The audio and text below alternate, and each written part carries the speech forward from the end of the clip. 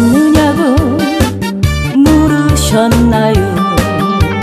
저 남쪽 상간마을 극장에서 왔어요. 수박 따고 고추 따고 장어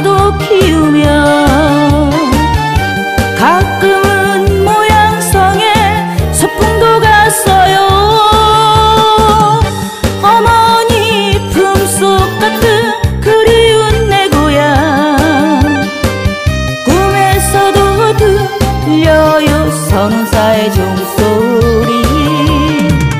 정보리가 비는 날 호남선 타고 서울로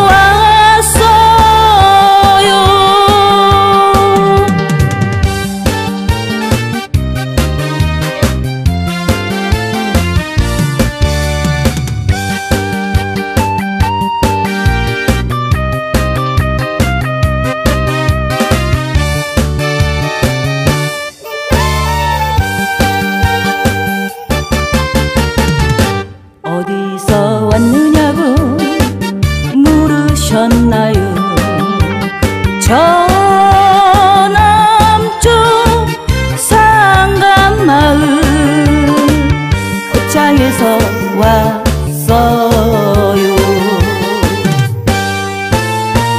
수박 따고 고추 따고 장어도 키우며 가끔은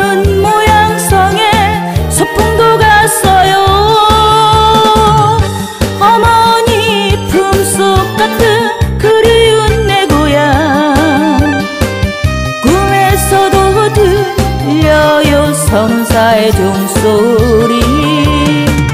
동백꽃이 피는 날 호남선 타고 서울로 왔어요.